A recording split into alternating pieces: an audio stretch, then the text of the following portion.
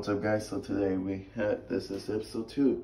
So I ain't gonna do the same today. I'm just gonna mainly focus on the toilet. So let's just stop talking and just do it. Alright, alright.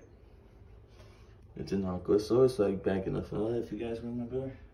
Even though I said stop talking about it, I really don't care. So this is gonna be a really short episode today.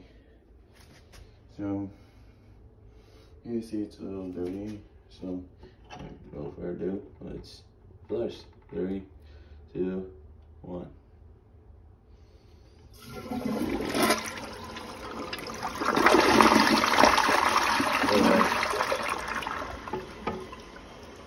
Alright, right. see you later, peace.